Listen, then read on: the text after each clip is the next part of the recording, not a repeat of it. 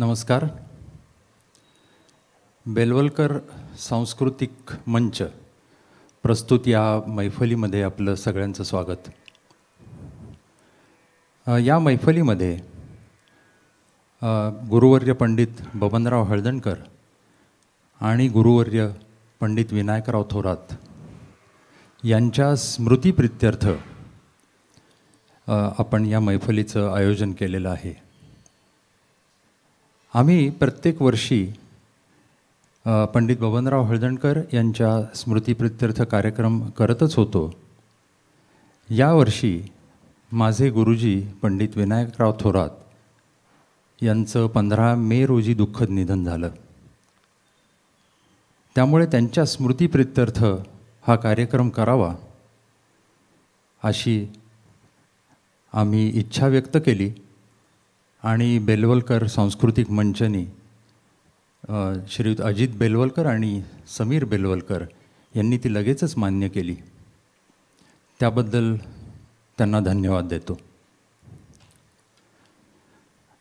पंडित विनायकराव थोरात हे माझे गुरुजी. त्यांना तबल्यातलं लालित्य म्हणून ओळखलं जायचं.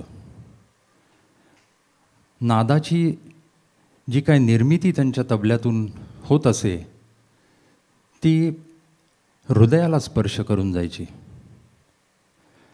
नाट्यगीतामुळे त्यांची ओळख सर्वांना आहेच आहे. पण त्यांचा तबला तेवढ्यापुरताच मर्यादित नव्हता.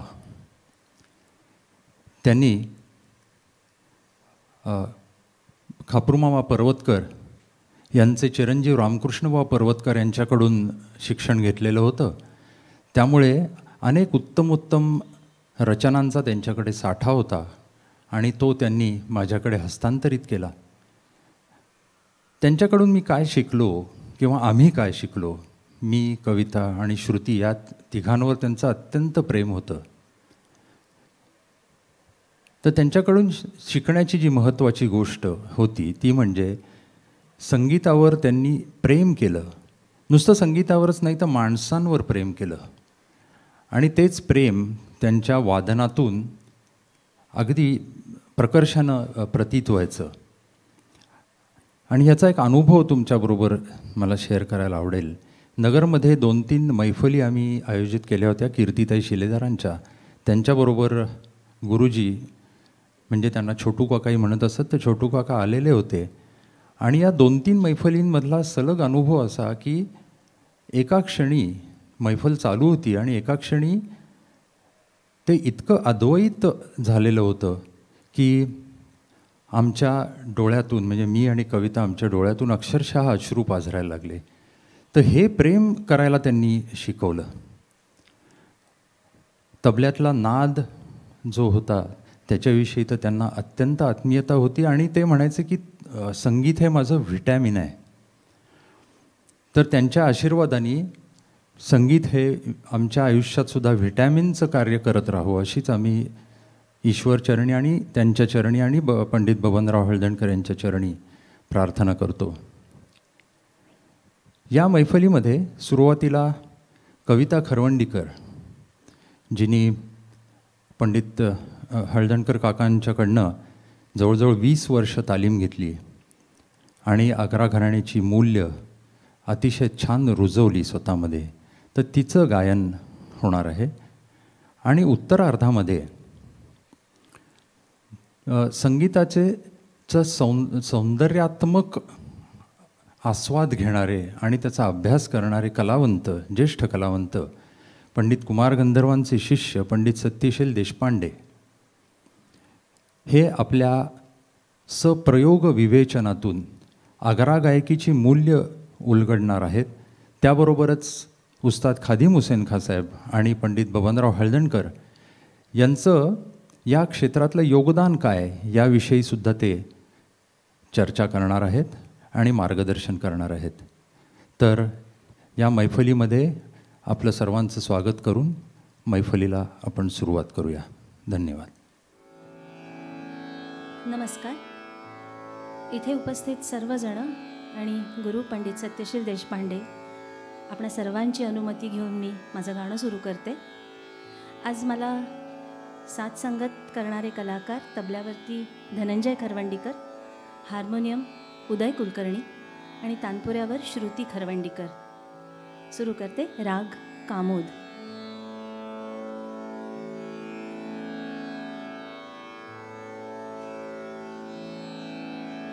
na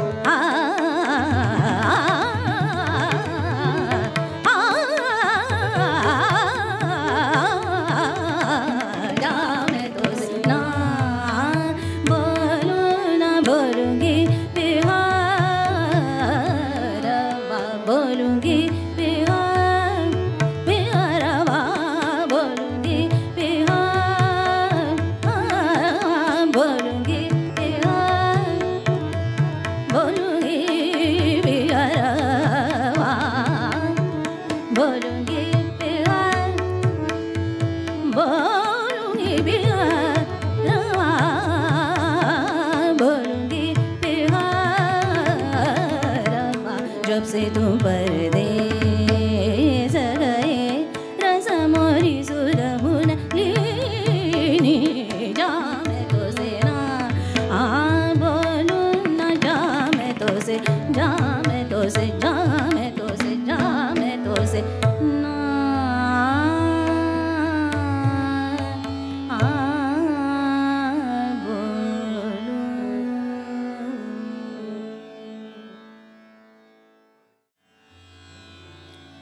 भावांतर सादर करते आहे राग दरस कंस. याला आग्रा घराण्याचा चंद्रकंस असंही म्हणतात. ह्या रागाची खासियत अशी आहे याच्यामध्ये एक रिषभाचा विशिष्ट दर्जा आहे. जे नाधड शुद्ध रिषभ नाधड कोमल रिषभ असा एक रिषभाचा दर्जा आहे. प्रयत्न करते गाण्याचा.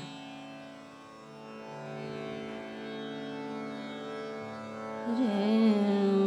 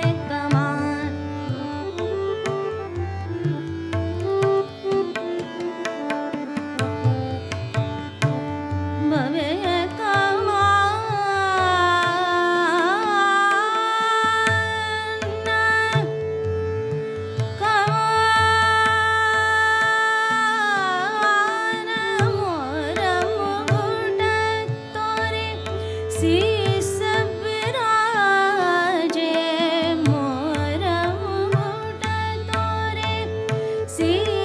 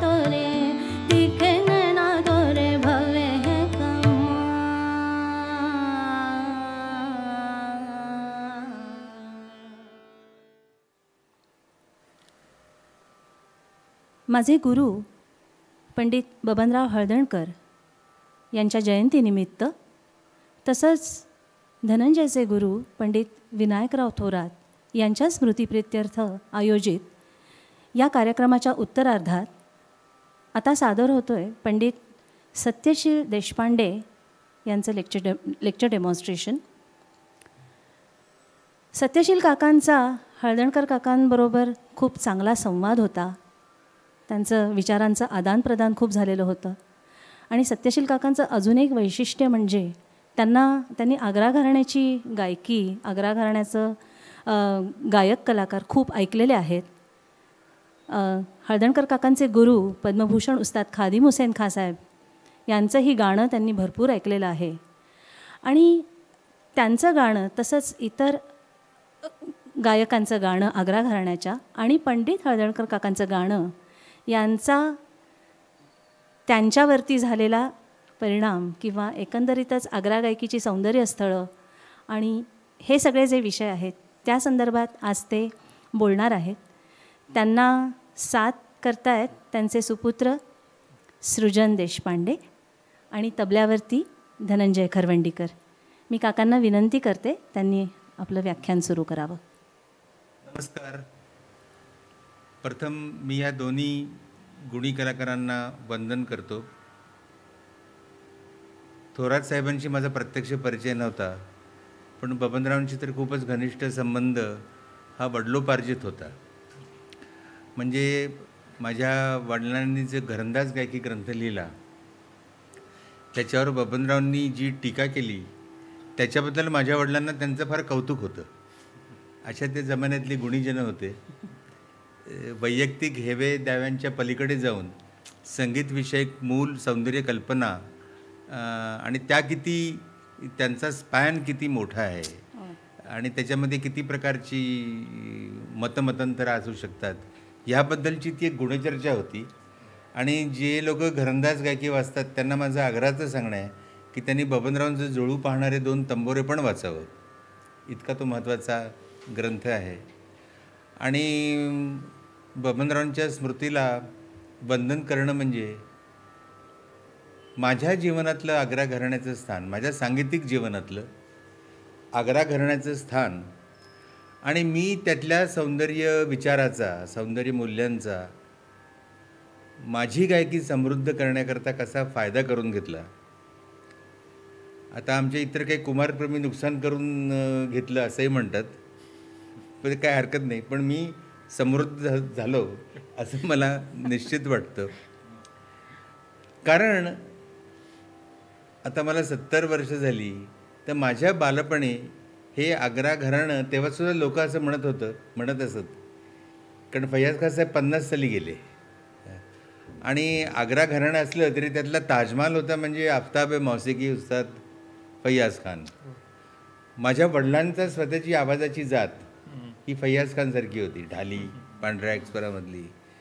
आणि एकंदरीतच आग्र्याच्या जे एक एक शिलेदार उरले जे होते म्हणजे अनवर हुसेन त्यांचं मी ऐकलेलं आहे. मोगूबाईंच्या घरी मोगूबाई आणि किशोरीताई समोर बसले आहेत असं मी अनवर हुसेन दोन तीनदा ऐकले आहेत. मी दिलरंग अजमत हुसेन ऐकले. नंतर मी लताफत खाननं ऐकलं. शराफत खाननं ऐकलं. आणि एक एका पिंडांनी माझं लईचं माझ्याबद्दल प्रेम होतं. पुढे असं झालं की मला एक अं, फोर्ड फाउंडेशननी एका प्रकल्पाकरता जे अनुदान दिलं त्याच्यामुळे मी झाडून सगळ्या कंठ म्हणजे गायकांचं डॉक्युमेंटेशन केलं. आणि त्याच्यात मी वैयक्तिक जास्त रमलो होते आग्रा घराण्यामध्ये आणि एक मला असं वाटतं की आपल्या संगीताचा इतिहास म्हणजे त्याला आता त्याचं सगळ्यात प्राचीन उपलब्ध पुरावा म्हणजे वैदिक ऋचा. आणि त्या वैदिक ऋचा ज्या असतात त्या तीन स्वरात असतात उदात्त अनुदात्त स्वरित. म्हणजे सामवेदात त्या गायल्या गेल्या. पुढे त्या तीन स्वरांना जी लोकधुनीच्या जवळपास येतात सप्तक लाभलं ही मानवी काय म्हणायचं अन्वेषण आहे. त्यातली खालचा षडज आणि वरच्या षडज ह्याच्यामध्ये काय असणार? या सप्तकाचा जसा शोध लागला ते प्रचलात प्रचलनात आलं प्रचारात आलं. त्याच्यानंतर मग जाती गायन गंधर्वगान प्रबंध याचे काही आपल्याकडे आपल्याला जी एक अनास्था आहे अं, दस्तऐवजीकरणाची डॉक्युमेंटेशनला दस्तऐवजीकरण म्हणतात. आणि कसं करणार? तेव्हा काय ऑडिओ माध्यमं नव्हती.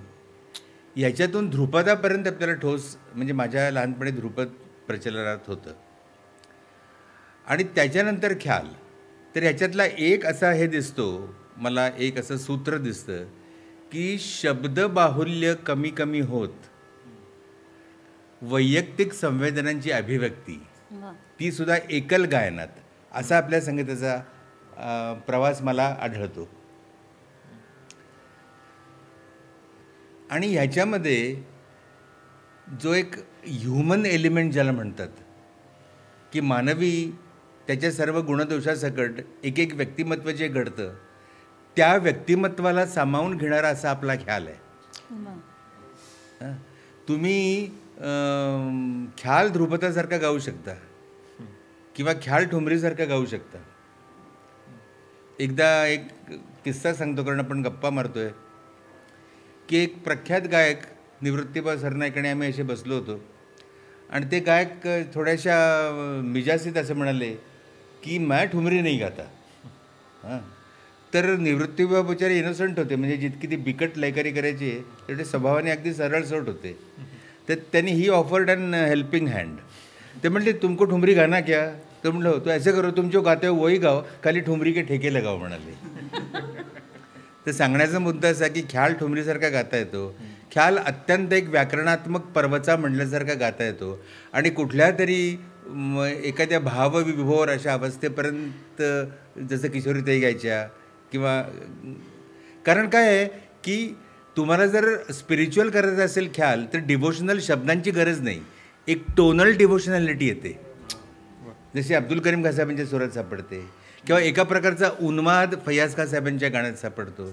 तर मला असं वाटतं आणि आत्ता नुकताच तो डिसायपल सिनेमा येऊन गेला आहे त्या संदर्भात मी असं बोलतो की ध्रुपदानंतरचं जे हे आमचं ख्याल संगीत आहे हे खालीभरीच्या ठेक्यात गायलं गेलेलं प्रथम संगीत आहे.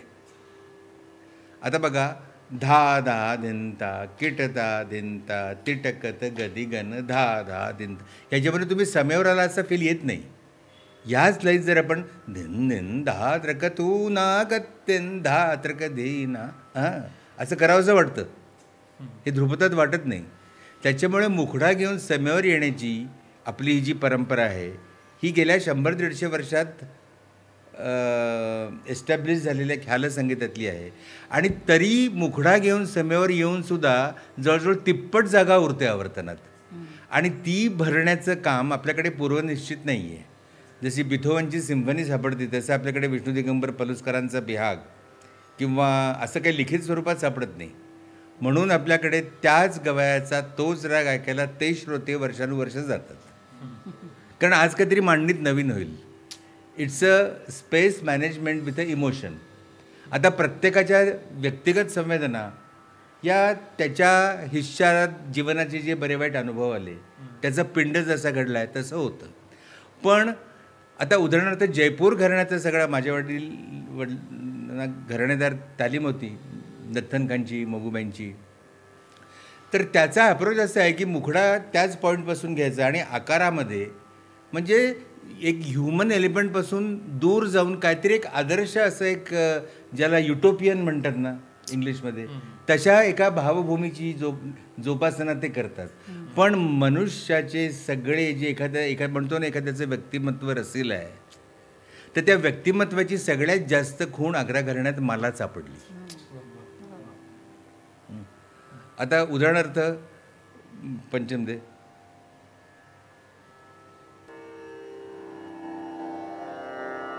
पंचम खर्च आता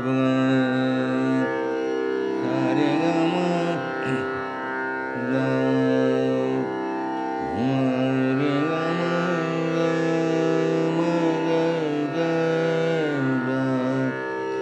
सारे ग म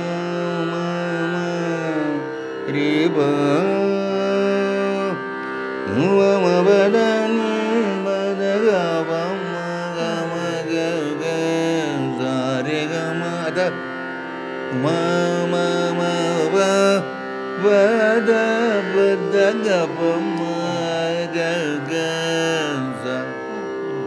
याच्यामध्ये ह्युमन एलिमेंट आहे. हे स्वर म्हणण्यातच. आणि फैयाज खा हा पहिला गायक ज्यांनी एक पुरुष आणि प्रकृती. तसं एक पौरुष त्याचा दमदारपणा कसदारपणा आणि फेमिनाईन नजाकत. याचा एक मेलोड्रामा केला. मेलोड्रामा हा फॉर्म म्हणून वाईट नाही आहे हिंदी चित्रपटात तो वाईट पद्धतीने वापरला जातो.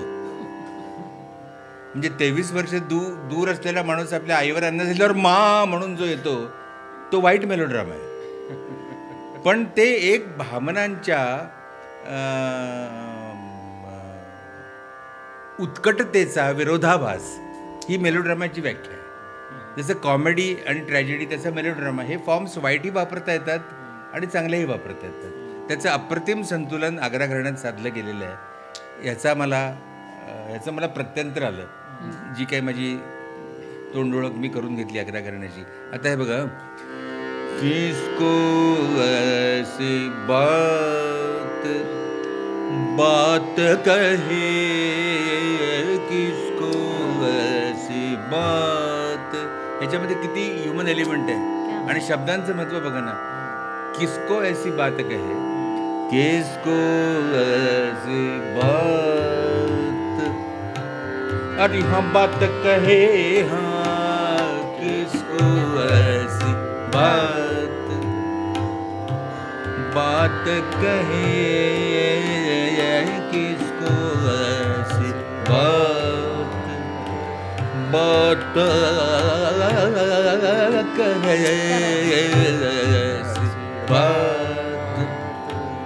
बात कहे करे मौज पिया संग जो अपने करे मौज पिया संग जो अपने। उसबर करम परवर दिगार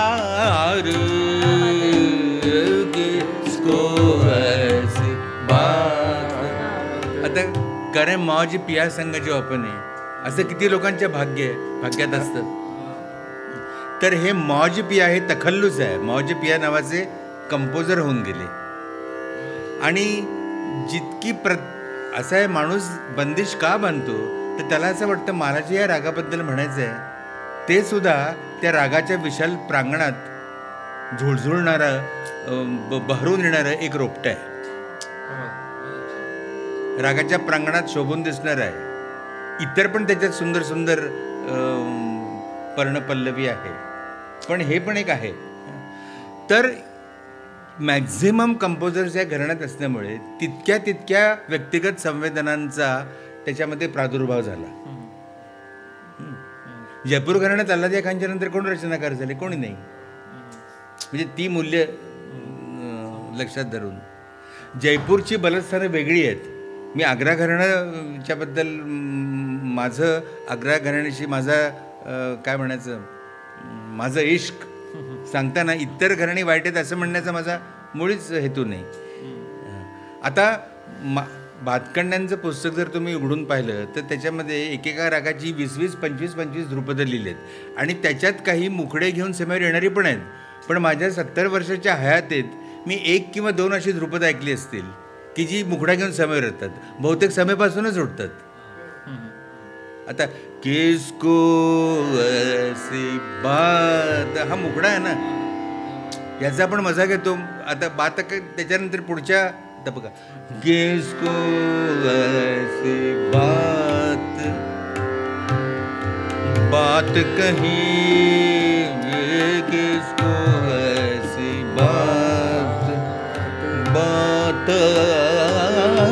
कहे।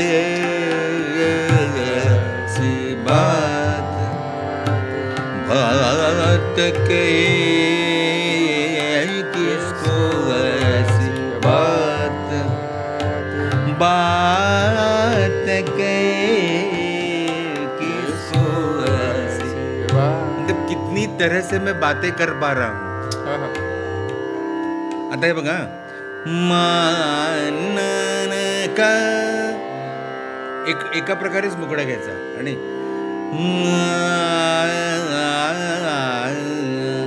कारण का तर केसरबाईंनी रेकॉर्डिंगमध्ये असं काउंट ठेवलंय? याचा गाऊड मल्हारशी काही संबंध नाही म मनी रे सा काय संबंध आहे काय संबंध नाही. पण ते क्रूड झालं. हा? पण किसको ऐसे आणि मग मुखड्यामध्ये काहीच त्या घराण्यामध्ये काम होत नाही. पण मुखड्यावर जितकं आग्रा करण्याचं गायक लक्ष देतो तितकंच तो उरलेल्या स्पेसबद्दल देतो. आता आपण पाहिलं की किसको ऐसी बात आहे ही किती प्रकारे गायला स्कोप आहे? माय मैं भी हो कंदन त्रकदंदंता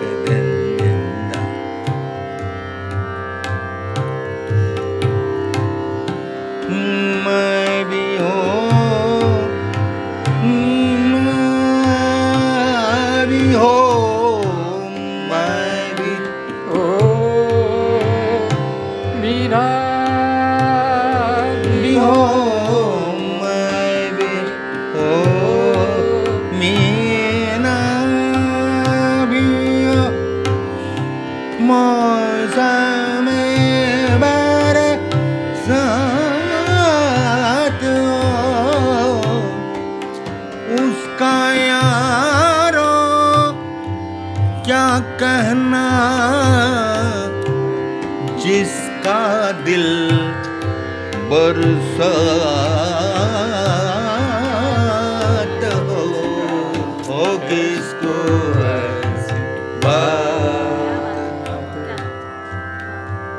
मी काय फयाज खाना पाहिलं नाही म्हणजे मी आग्रा करण्याची तालीम घेतली असं काही म्हणता येणार नाही. पण मी आपल्याला सांगतो म्हणजे एक जर काही तरुण साधक असतील तर पहिली गोष्ट करतो की हे जसे साधक आहेत दोघं जण तसं मी सुद्धा जरा वजनदार असलो तरी स्वतःला साधकच समजतो. काही पंडित वगैरे समजत नाही. कारण ही विद्या फार अथांग आहे. आणि ह्या आग्रा घराण्याच्या सौंदर्याच्या दुनियेत दुनियेकडे मला डोळे उघडून आणि गळा खोलून बघता आलं ते दालन बबनरावांच्या थ्रू होतं. बबनराव हे माझ्याकरता एक गवाक्ष होते. कारण ते पुण्यामध्ये खिडकी म्हटल्यावर कपडे वाळत टाका टाकण्याची आठवण होते. तसं नव्हतं ते. त्यात सुंदर दुनिया सुंदर ती दुसरी दुनिया मला बघायला मिळाली. आणि हा जो ह्युमन एलिमेंट आहे हा जितक्या आग्रा घराण्यामध्ये कंपोजर झाले त्या सर्वांच्यामध्ये आढळतो. आग्रा घराण्याची माझ्या लहानपणी मुंबईची चित्रापूर आणि गौड सारस्वत उपशाखा ही जास्त प्रचलनात होती.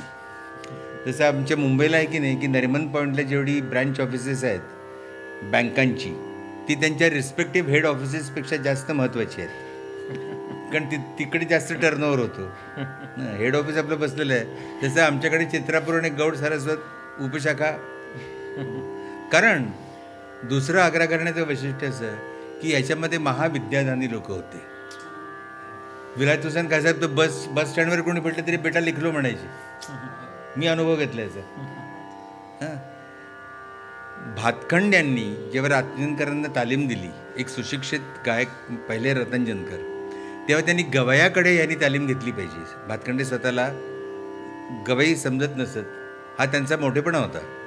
त्यांच्याच रचना पाहिल्या. तर जे भातखंड्यांना शिवाय देतात ते लोक त्यांच्याच पुस्तकातल्या रचना गातात हे त्यांचं त्यांनाच माहीत नसतं. चरण धरा ही भातखंड्यांची बंदिश. आहे आमिर खा गायची सगळं किराणा घराणं गातं. तर त्यांना आग्रा घराण्याचं जसं हत्ती आणि सात डोळस म्हणू आपण. कारण तो हत्तीच इतका मोठा आहे. ते आंधळे नाही आहेत डोळस आहेत. प्रत्येकाला हत्तीचा वेगळा भाग चांगला वाटला. बरं ह्याच्या जोडीला काय झालं? आग्रा घराण्याची एक एक एक शाखा मी सांगतो. मुद्दा राहिला की रातंजनकरांना भातखंड्यांनी फैयाज खासा हो हो. रातंजनकरांनी भातखंड्यांना फैयाज कासाहेबांचं शिष्य केलं. हं. कारण एकतर अत्यंत स्वच्छ रागरूप. हे आग्रा वैशिष्ट्य. आणि त्यांच्या बंदिशी ह्या एखाद्या लहान मुलाला आपण नर्सरी राईम सांगावं ना तितक्या सोप्या असतात ग्रहण करायला. आणि नंतर त्या इतक्या जटिल होतात. ते गाणाऱ्याचं कसब आहे. पण एखादी कारण बालगीत लिहिणं हे फार कठीण आहे. मला विंदा करंदीकर स्वतः म्हणत होते. मी त्यांच्या गझल त्यांच्या जातक नावाच्या कविता संग्रहात त्यांची एक पंधरा वीस गझल आहेत. म्हटलं काय तुम्ही छान हे केलंय. ते म्हणले ठीक आहे ते सोपं आहे पण बालगीत लिहिणं जास्त अवघड आहे. म्हणजे जसं सोपं सोपी वाक्य लिहिणं हे कठीण असतं. तर त्या रातनकरांच्या त्यांना जे अग्राघरणं उमगलं त्याच्यावर लखनौच्या नृत्यशैलीचा परिणाम झाला. म्हणजे नृत्य कथक नृत्यामधली जी बंदिशकी ठुमरी असते ना त्याच्यावर प्रत्येक मात्रेवर आघात लागतो. कारण तो आघात हा नर्तकाचा श्वास आहे. जसा गायकाला श्वास घ्यायला लागतो गाताना. तसा तर त्यामुळे ते आग्रह करण्याचं कसं रूप आलं बघा. आता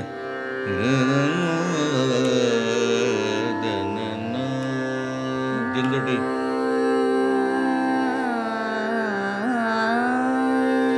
आता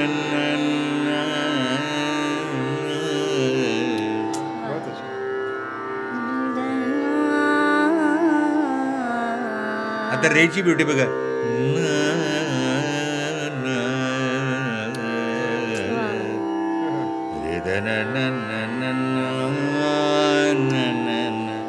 बघा पुरुष आणि प्रकृती आलं इथे रे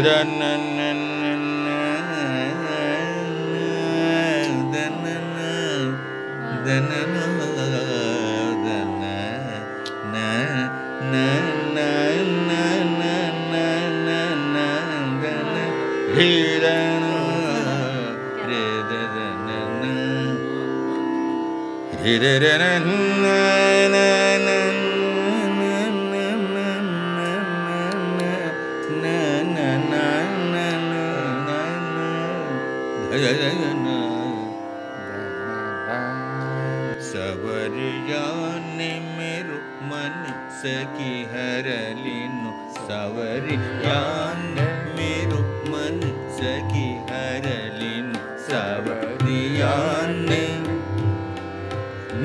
सखी हरली न सवरि मेरु हरली नु सवर्यान सखी हरली नु सवर्या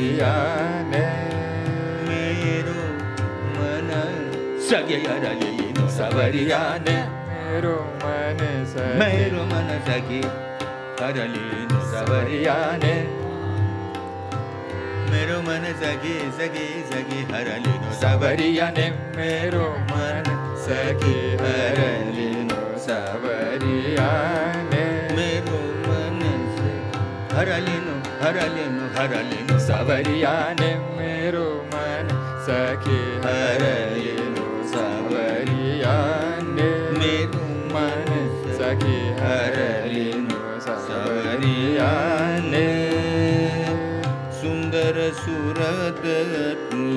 रंग परिचित चोरी सुध बुध विसर गरी मोरी सारी मेरो मन सखी हरली न सावरिया ने मेरो मन सखी हरली नो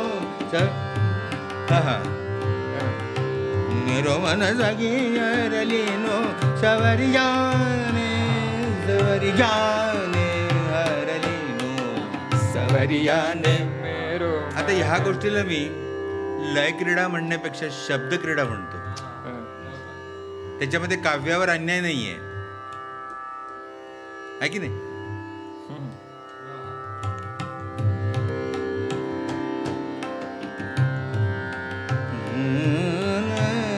सुवत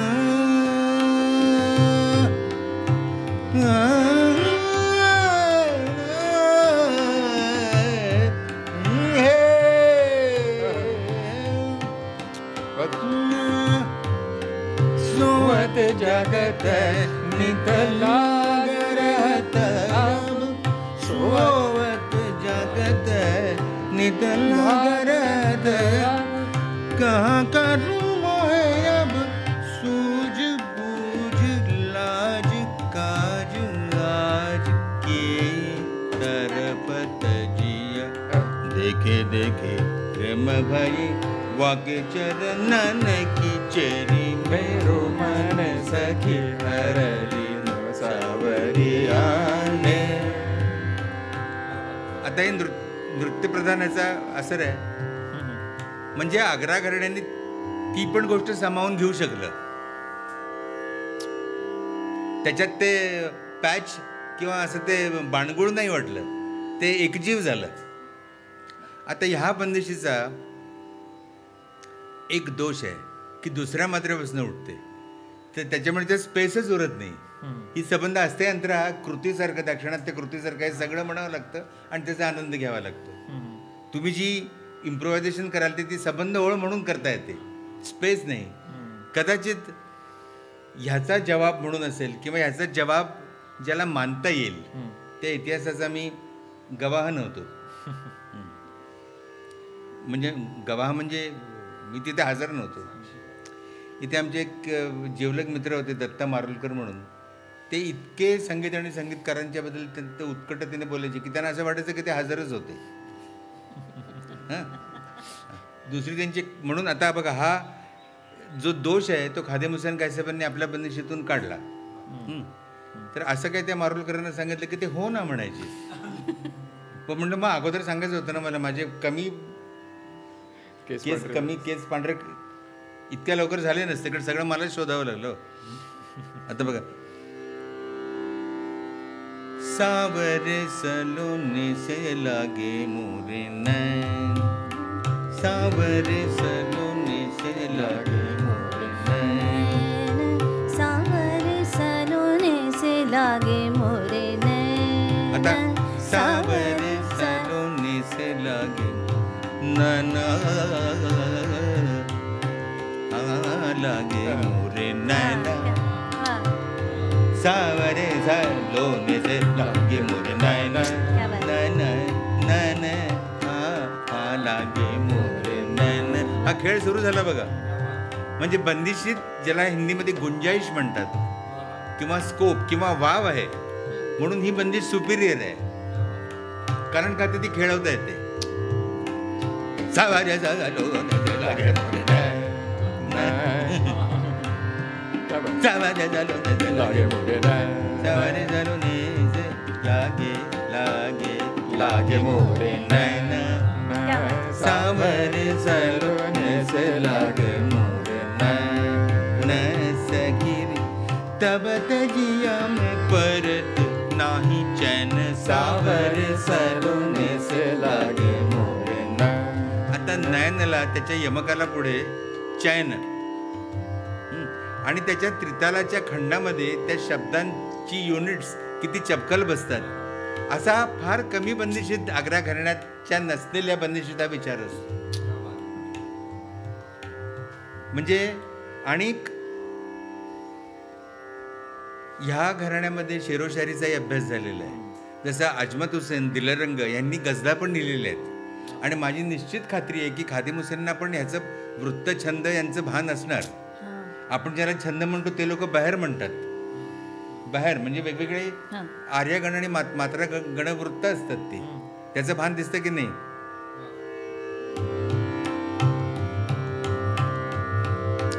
जित जाऊत आरोयावर सजन कहाँ से करूँ मैं जी के बन सावर सलोने से लागे। म्हणजे तिखे तिखे म्हणजे ठुमऱ्यांमध्ये पण येतात तिखे नयन मिठे बॅन. तर बॅन म्हणजे भोई समजतात मराठी लोक. ते नाहीये. बयानचा अपभ्रंश आहे.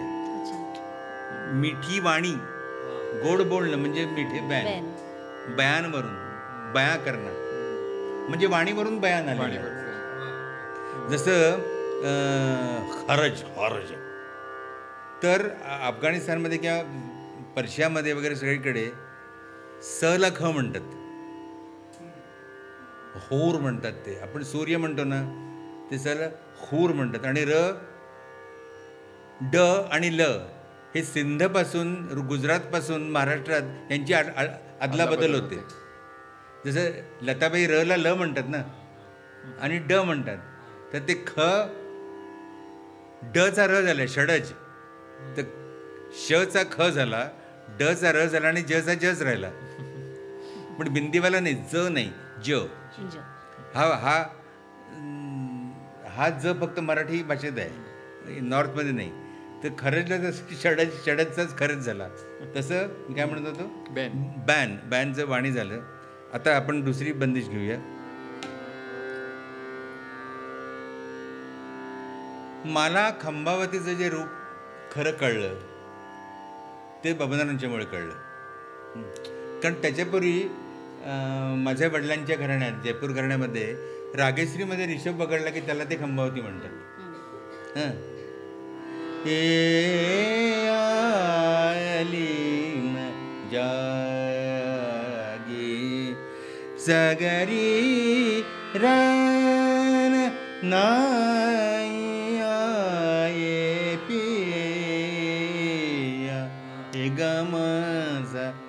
एवढं मात्र ठेवलं त्यांनी खंबावतीचं पण पंचम आहे ना केला आता बघा ये ये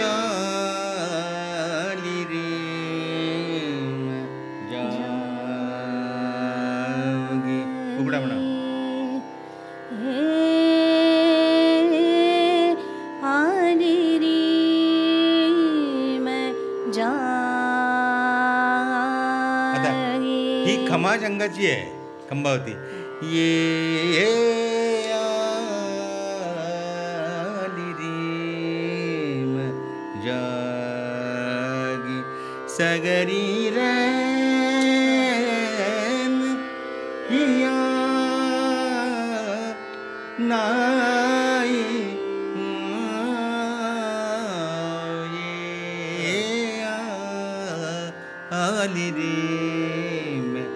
आता कसं म्हणायचे? ए आली रे.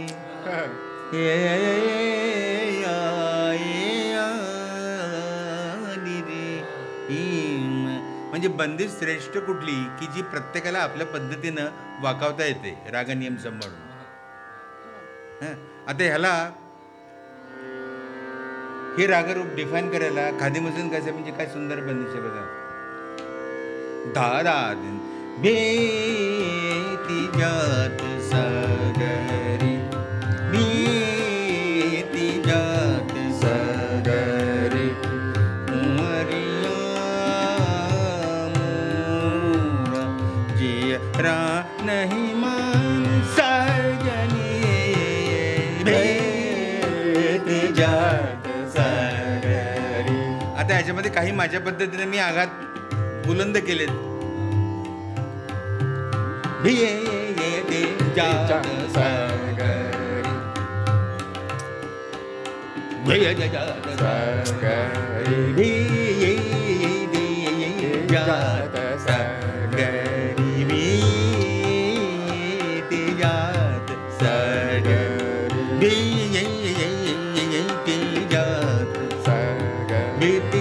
Sagari, be, be, be, be, be, be, be, be, be, be, बेती जात सागरी बेती जात सागरी। बेती जात बेती जात बेती जात सागर।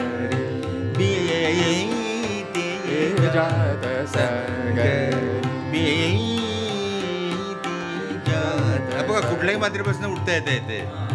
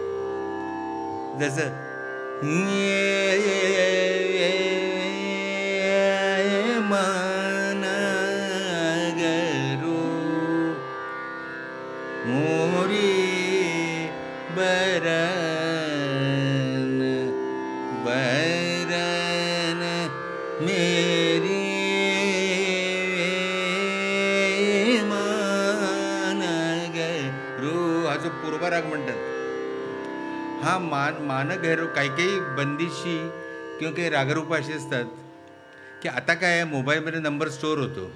लक्षात ठेवावं लागत नाही. पण पूर्वी नंबर लक्षात ठेवायला लागायची. हं? तर तसे काही काही राग किंवा बंदिशी असे असतात त्या फोन नंबरसारख्या लक्षात ठेवायला लागतात. पटकन त्या आत्मसात किंवा गळ्यावर चढत नाहीत कारण त्या असतातच अस्वाभाविक. आता लक्षात येणारा नंबर त्या ह्याचा असतो ना फक्त कुठल्या ह्याचा? ते ॲप ॲप असतं ना त्याच्यामध्ये वाटेल ती इन्फॉर्मेशन देतात. त्याचा नंबर तो. Eight eight eight eight eight eight आठ आठ दहा वेळा एट हां? हां ट्रू कॉल तसं तशा तशा असायला पाहिजेत बंदिशी. आता आत्तापर्यंत जे मी बंदिशी केले सगळे पाठ होतात. आता ही बघा. पूर्वामधली बंदिशी आहे खादी मुसलगाचे म्हणजे. आता बघा. ये सावरे से मन लागा सावरे से मन लागा माणूस का त्याच्या पत्त्यामुळे किंवा कुंडली जन्मकुंडली पण लक्षात राहत नाही. त्याच्या पर्सनॅलिटीमुळे लक्षात राहतो. इथे पर्सनॅलिटी झाली पूर्वाची. क्या वा. मानगैरोमध्ये नाही आहे ती. मन लागा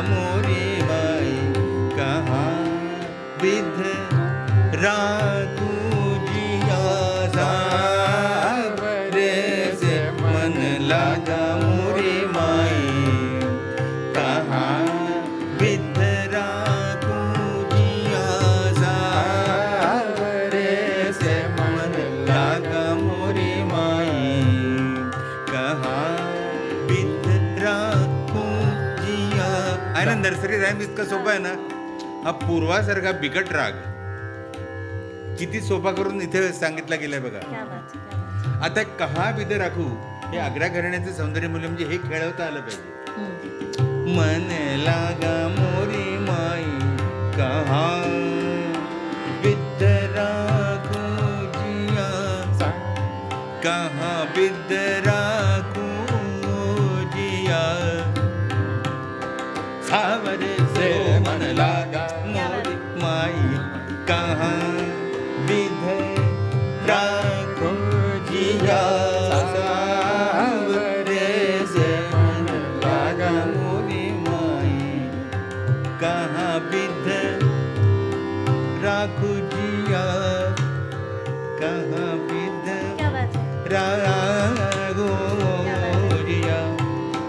कहाँ विध रागो जिया सावरे से मन लागा।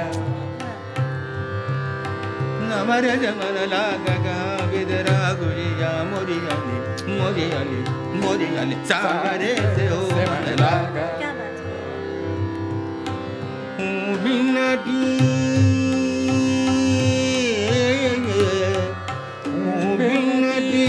कर हारी मोहन कहाँ करूँ सजन पिया सावरे से मन लागा।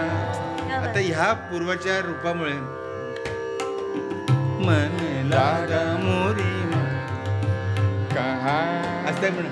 विध राघो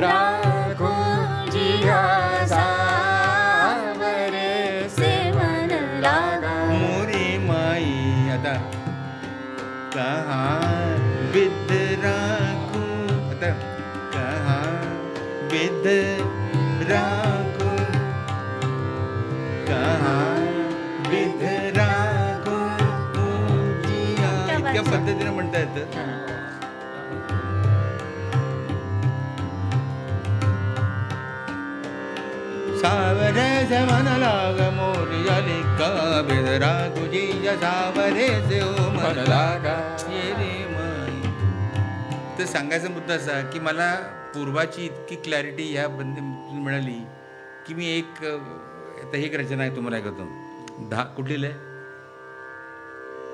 तीन ताल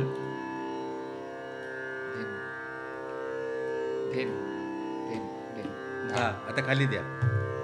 दहा तीन. तीन. कविता आहे का? हं. ता.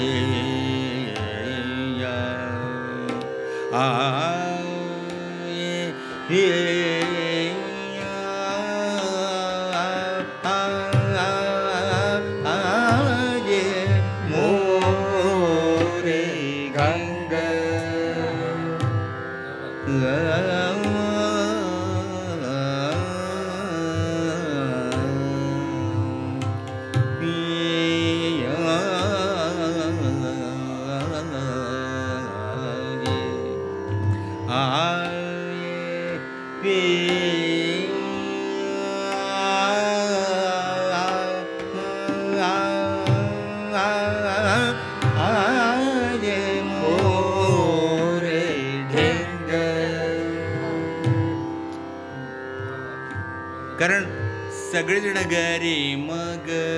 हे पूर्वात करायला टरकतात. गायरो म्हणजे एक पूर्वी एनिवे ती रागे चर्चा नको. हे रूप ऐकून घ्या. ता. नाही. हा.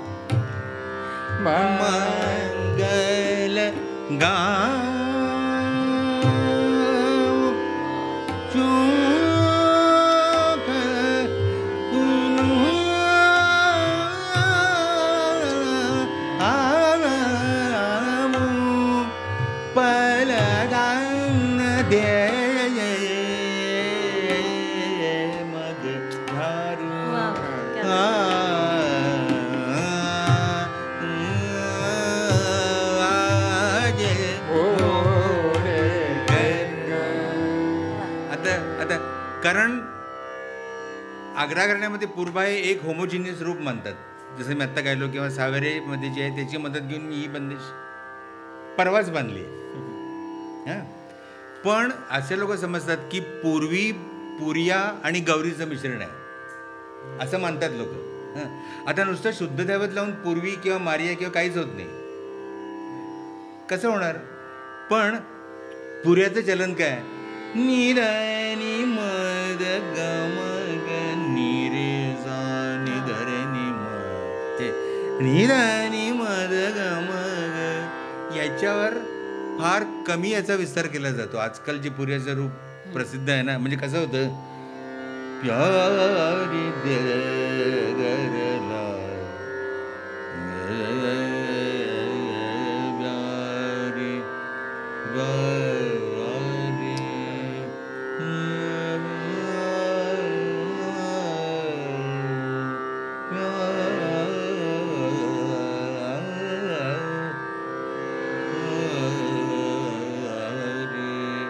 असं आणि मग अशी वीस पंचवीस मिनटं गेले की म्हणजे ते खालचंच वर पण निरानी मद गमग निरेसा हे चलन गायलं जात नाही. आता हे फक्त दैवत कोमल करून मी चलन आणलं पुरिया म्हणून. हम्म. आणि आणि ते चलन फयाज खाजामाच्या रेकॉर्डमध्ये सापडतं. हा, आणि हे जे हे हे जे पुरियाचं चलन आहे हे फैयाज खानच्या रेकॉर्डमध्ये सापडतं. मग रे आई रंग रंग रलिया. वारी रात पण घट घाट मतो घर आई बिया रंग रलिया. कर इतक्या पद्धतीने ओळ म्हणता येते. मकर बिया हा जो मी पुरुष आणि प्रकृती म्हणतो ना हं. हा फार छान आहे. तर द- दाम रे मग नी रे ते चलन नाही आलं. हे अंतरा- चलन. अंतरामध्ये ते चलन. पुरियाचं. पुरियाचं हा. कराई मधलं चलन. अंतरा अंतरा म्हणा. कशाचा? कराई पिया एक तू डर मोय साधन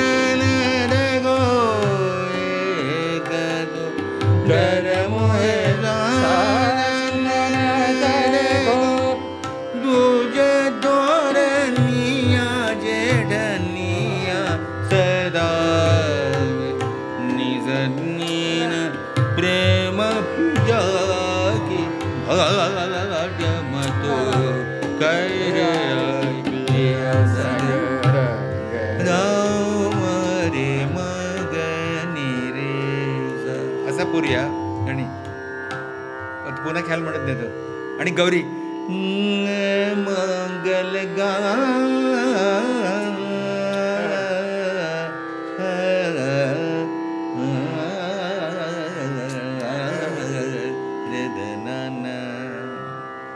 तर हे सगळं असं असे आग्रह करण्याचे माझ्यावर उपकार आहेत. आता नर्सरी राईम सारखी सादगी आहे. आणि त्याच्यामध्ये एक जॅज सारखी लिल्ट आहे. ऑफ बीट लिल्ट असते ना जॅजमध्ये. तरुण पिढीला कळेल.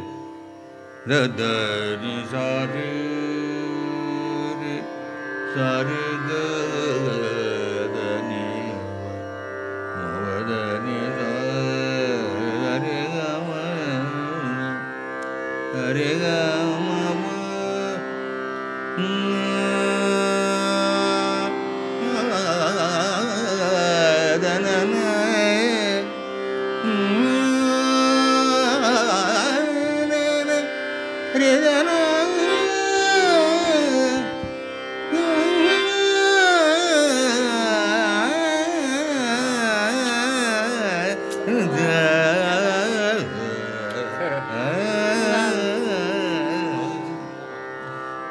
एकेका अंगाचा मेंढ घेऊन त्याचा विकास.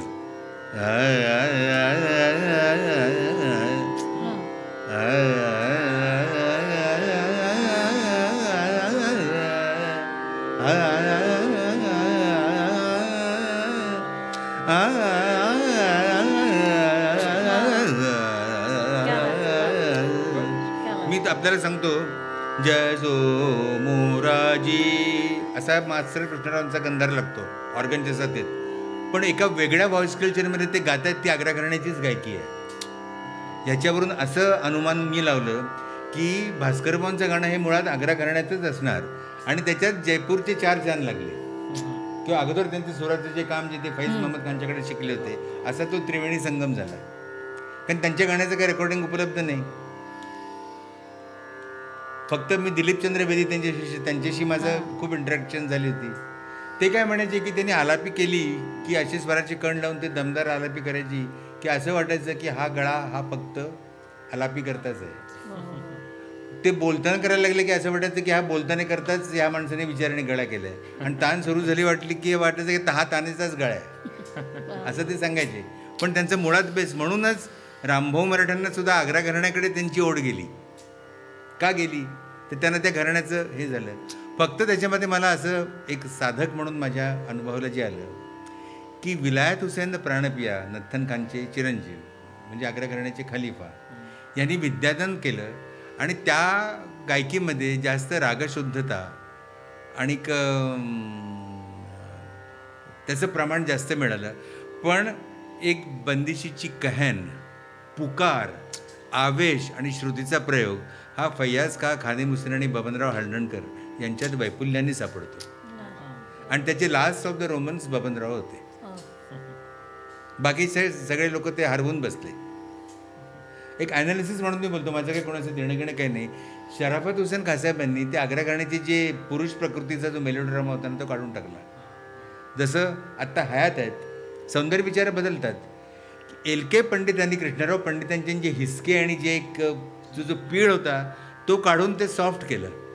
त्यांना असं वाटलं आपण मॉडर्न करतोय. म्हणजे त्यांची कारणं असतील आणि त्याच्यात मी त्यांनी त्याचं का गावं सांगणारा मी कोण? पण मुळातली जी किक होती ती मला खादी मसीन किंवा बबनरांच्यामध्ये मिळाली. आणि खादिम हुसेन बमदार यांनी काय केलं? काव्य विचार. आता हे बघा. हे मी लिल्ट लिल्ट लाईक क्वालिटी म्हणतो ना.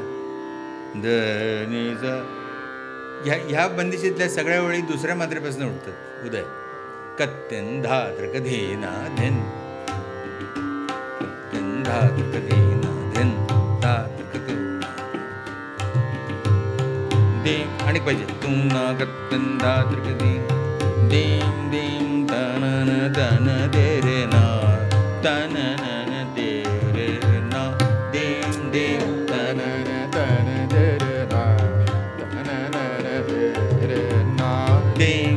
पहिली मात्र जोरात द्या. देम देम तनन तन दे रे ना तनन दे रे ना. तदेम देम देम तदेम तना न दे रे ना. तनन न दे रे ना. देम देम तनन तन दे रे ना. देम तदेम देम तदेम तदेम तदेम देम. तनन तन दे रे ना तदेम तन दे रे ना. देम. तदेम Da-dam, da-dam, da-dam, dam, da-na-na-na-na-na-na-na. Dam, da-dam, dam, da-dam, da-dam, da-dam, da-dam, da-na-na-na-na-na. Da-da-na, da-na-na-na-na, da-da-na, da-dam, dam, da-na-na-na-na, da-da-na, da-na-na-na-na.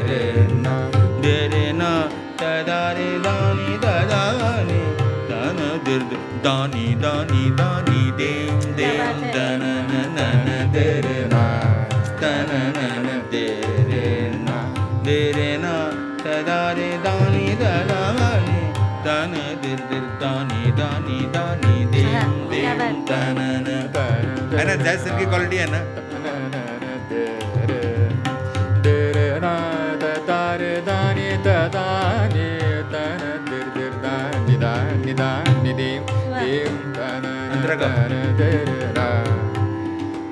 अधि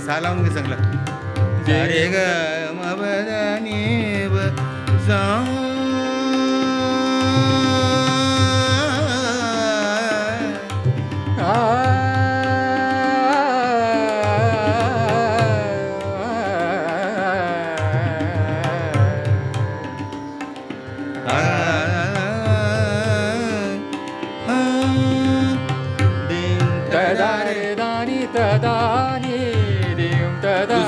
दानी तदानी दीम तदारे दानी तदानी पुढे.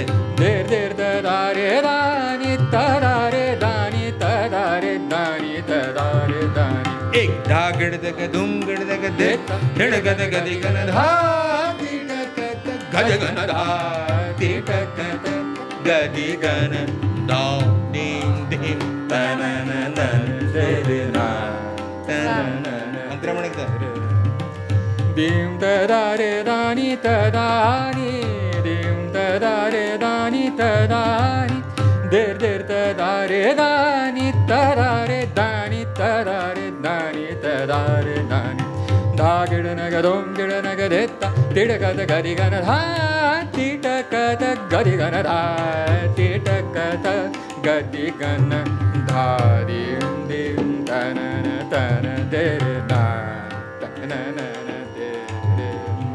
असं मी सांगतो धनाश्रीमध्ये थे मारुरा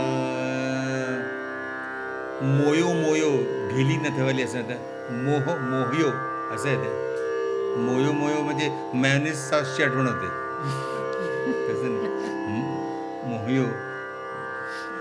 तर ह्याशिवाय काही झालं नाही. आता विलास हुसेन प्राणप्रियांची दिशा आहे. कुठली?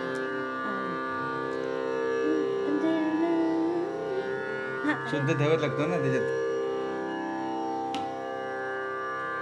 एनिवे तर याच्यामध्ये एक फार चांगली बंदिश कुमारजींची आहे म्हणजे आज समजा बबनराव असते आणि या विषयाने करत असते तर बबनरावने मी ऐकवली असते म्हणून आत्ता म्हणतो म्हणजे काय होतं गम बग रे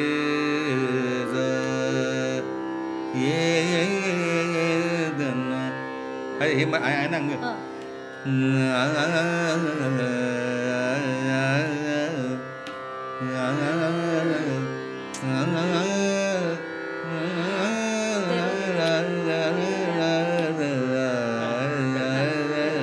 घ्या किंवा घेऊ नका.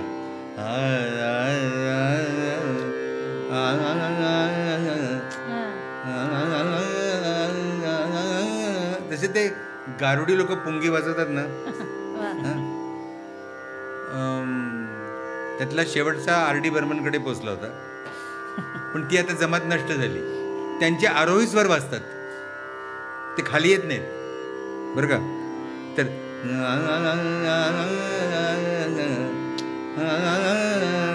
वा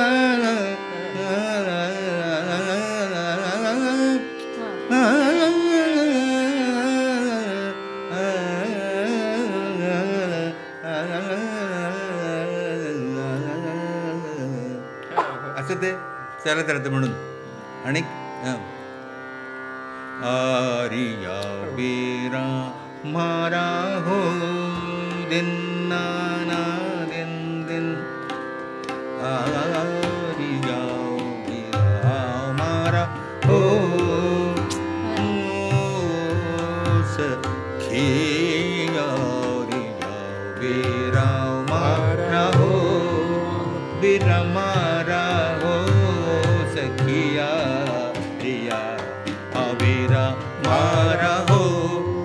जर आग्रा घराणं कळलं असेल तर कुमारींची रचना शोध ही अशी गाता येते. मी गाऊन दाखवतो. म्हणून माझं असं म्हणणं आहे की त्या घराण्याचं सौंदर्य मूल्य आत्मसात करणं त्याच्या पाठीमागे झालं पाहिजे. आज सोबना म्हटल्यावर तुम्ही किराणा घराणा होत नाही. तुमचे ते अब्दुल करीमच्या दिशेला जाणारे स्वर लागतात का? मग तुम्ही वाटेल ते म्हणा. आखानं मोरी लागी तुम्ही गायलात म्हणजे तुम्ही जयपूर घराण्याचे गायक होत नाही. मग बंदिश आग्रा घराण्याची असो कुठली असो ती त्या पद्धतीनं म्हणजे ते ते बीज घेऊन. तसं म्हणून मी काय म्हणतो की कलामूल्य चिरंतन असतात. म्हणजे मध्यले खेळवणं फुलवणं हे चिरंतन आहे. आपल्या जमान्यात फैयाज खानी ते त्यांच्या पद्धतीनं केलं. खादिम हुसेननी त्यांच्या पद्धतीनं केलं. बबनरावने सुद्धा खादिम हुसेनची नक्कल नाही केलं. ते इतकं त्यांनी आत्मसात केलं बीज आणि त्याचा आपल्या पद्धतीचा आविष्कार केला. आणि माझं माझ्याकडून जे मार्गदर्शनासाठी येतात त्यांना माझं तेच सांगणं असतं. की ह्या व्हॅल्यूज तुम्ही आपल्या पद्धतीनं म्हणा. म्हणजे कंटेम्पररी इडियम त्याला लाभते पण मध्यले फुलवणं हे मूल्य शाबूत राहतं. जसं चांगला मुखडा घेऊन सेमेवर येणं हे हे पारंपरिक कला मूल्य आहे. आता चांगलं आवर्तन म्हणजे काय? याच्याबद्दल मतं असू शकतात. आता नुसतं ते ते तंबारीच्या मागून तिरकिटं वाजलं की मुखडा घेणं हे एक विचार असू शकतो. डोक्याचा त्रास कमी होतो त्याच्यामध्ये. संबंध आवर्तनाचं कन्सेप्ट मागवणं कठीण असतं. पण हा आपापला सौंदर्य विचार आहे. लयकारी केल्यानेच आग्रा कारण लयकारी कसली अरे ते नाचवणं आहे. ती शब्दक्रीडा आहे. त्याच्याकरता साहित्याचा अभ्यास पाहिजे. श- आणि तो ह्या बुजुर्ग लोकांना असणार. काय सांगत होतो आपण? हा. आरिया बेरा मारा हो.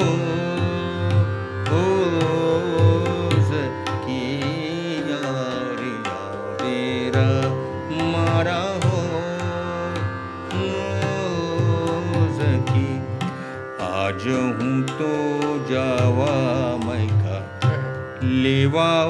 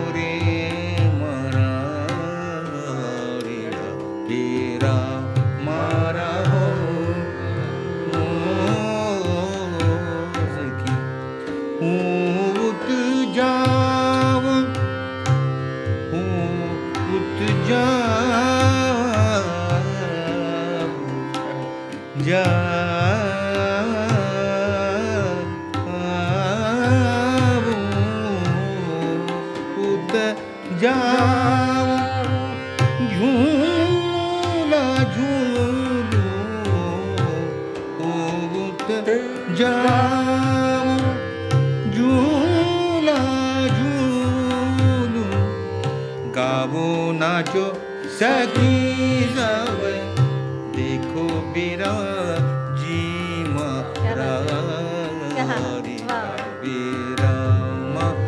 हो। याच तोडीची बंदिश बाबनरावांची आहे. ती विलायत हुसेन प्रणवांची बंदिश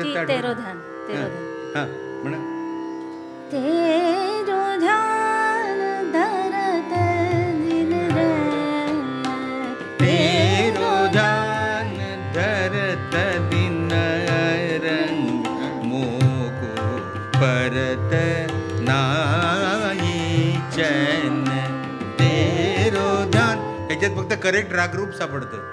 पर्सनॅलिटी नाही आहे ॲनालिसिस म्हणून बोलतोय. त्याशिवाय प्रगती कशी होणार? एक अणूपेक्षा दुसरा अणू वेगळा आहे हे जर कळलं नाही तर तुम्ही बॉम्ब कसं बनवणार? आणि यातला काय होतं आमची कुमारजी सुद्धा म्हणायची की आता मला हे पूर्वाचं रागरूप इतकं छान वाटलं. म्हणून त्याच्यात आग्रा करण्यात जे वापरले जातात ते शब्द वापरले. आता कविता गायली फार छान गेली. त्याच्यामध्ये सुद्धा पलगन डगर बुहार होतं. म्हणजे ती एक एक घराण्याची शब्दकळा असते. आणि त्याच्यामुळे काय होतं ती गाणाऱ्यालाही माहीत असते ऐकणाऱ्याला माहीत असते. त्यामुळे त्यांच्याकडे वेगळं लक्ष द्यावं लागत नाही आणि कोरं गाणं ऐकता येतं. म्हणून आम्हाला उत्तम गालिबचं किंवा तुमुल कोला हलकल हमे मैं मलाई की बात रे मन इतकं चांगलं कवी आम्हाला नटकामोत गाताना झेपणार नाही. कैसे कैसे बोल?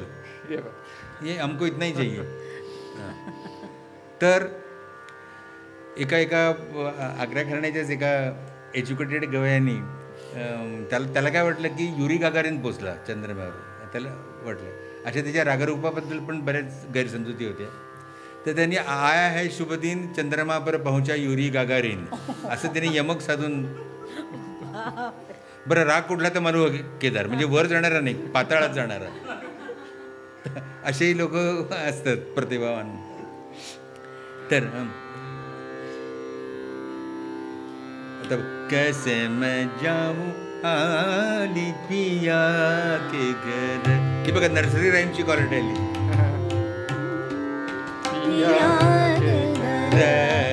कैसे मैं जाऊं र, कैसे मैं जाऊं आली पिया के घर सांझ। ये नजर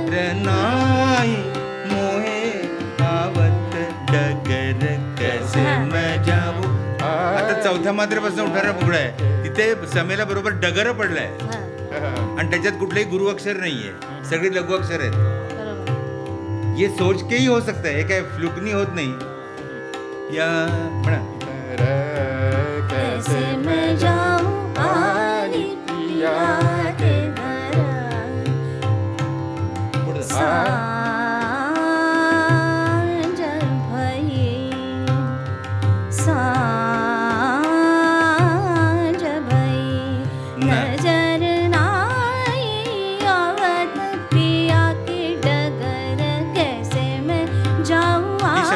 म्हणते, पण तत्व तेच आहे. आली घर अंतरा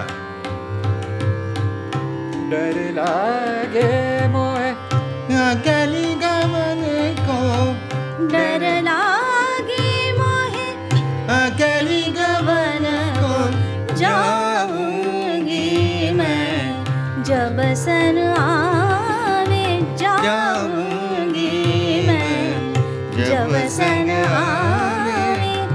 रस पिया।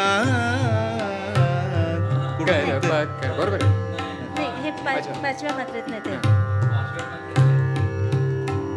डर लागे अगली गवन को।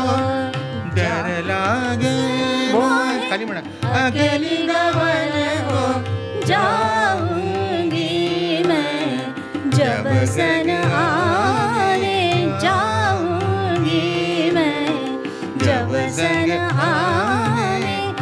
पिया कर पकर कैसे मी असं केलं रस रस पिया कर पकर कैसे हा, बात मैं जाऊँ। किती वेळ झाला? एक तास झाला ना? बरं आपण असं याला म्हणूया की बबनरावांच्या पुण्य स्मृतीबद्दलच्या या गुणचर्चेची च हे पहिलं सत्र. अशी अशी अनेक करू.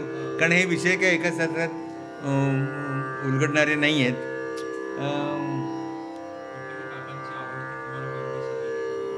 जोक जोकचा तरण. हं. हां जोकचा तरण आपण तो माझ्या पद्धतीने मी वाकवला. हां. आणि मी तो बाबांना ऐकवला होता. त्यातली कॉम्प्लेक्सिटी तेवढी कमी केली. पण ते चालेल म्हणाले. म्हणजे ओरिजिनल चांगलंच आहे. जसं मी म्हणतो की रागाला प्लुरल एक्झिस्टन्स असते. कारण भारताच्या दोन तृतीयांश भागात हे संगीत गायलं जातं. आणि जेव्हा संपर्क माध्यम नव्हती तेव्हा प्रत्येक माणसाचा आपला मिजाज असायचा. हा. तर मला असं वाटतं की ह्या तारण्यामध्ये एक आर्जव आहे. म्हणजे मी तुम्हाला सांगतो. मी तुम्हाला पुन्हा सांगतो. बरं का?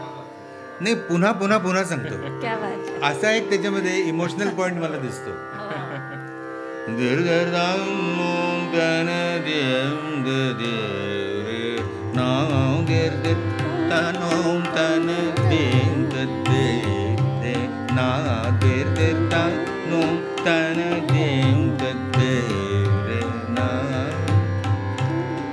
दर दर तनोम तन देम द क्या तन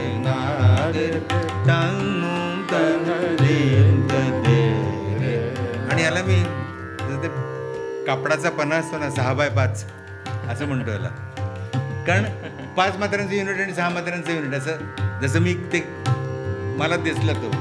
नेर तन द ना. तन तदानी तदानी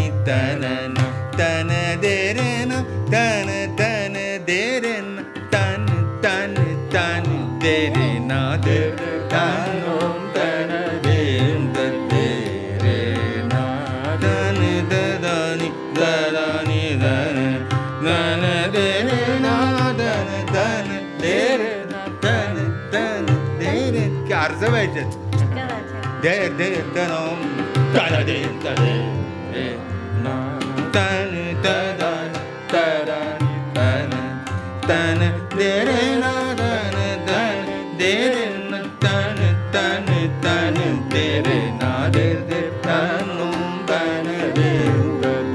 काय मजा येतोय का तन तदानी तन देम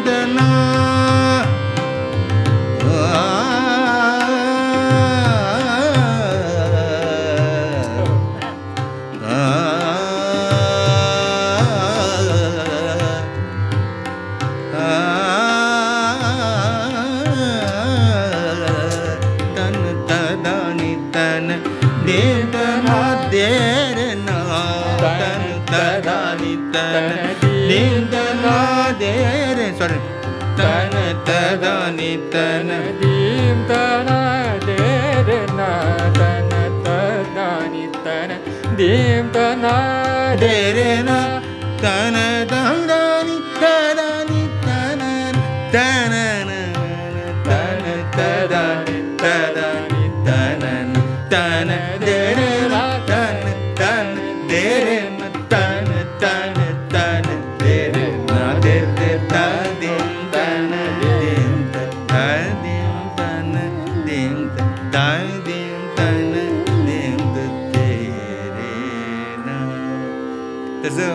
सजन पिया तशी आमची बबन पिया. म्हणजे ज्या माणसाने आपल्या जीवनात एक आनंद निर्माण केला त्यांच्या स्मृतीला माझं आदरपूर्वक नम्र वंदन. नमस्कार.